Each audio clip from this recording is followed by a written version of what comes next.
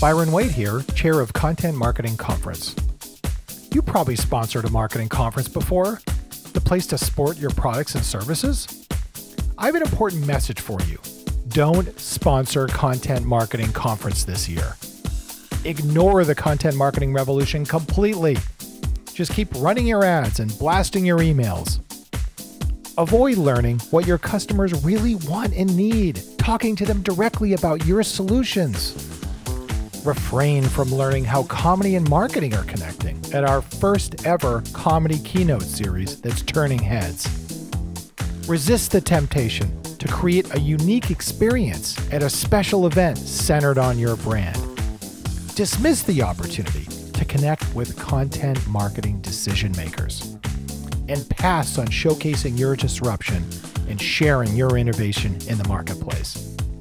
But do reach out if I have this all wrong and you want to grow your business organically the content marketing way.